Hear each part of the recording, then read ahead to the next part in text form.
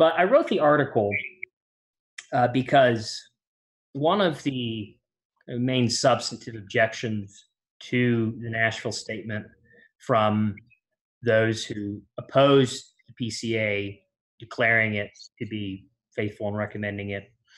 Um, one of the main substantive objections in terms of content, there was a lot of different objections to to doing it.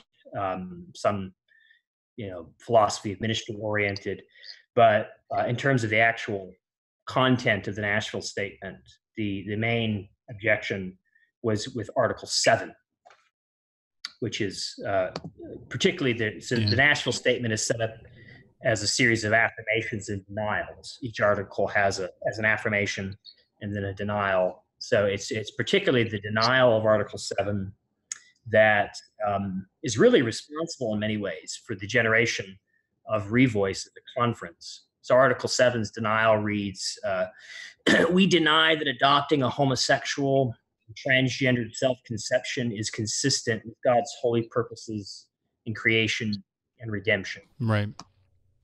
So um, as I as I pondered objections to that, um, my mind, trained by Westminster systematicians who love John Murray and uh, definitive sanctification, um, naturally went to uh, Romans six uh, as as a place to try to think about why this this is actually a biblically faithful uh, statement.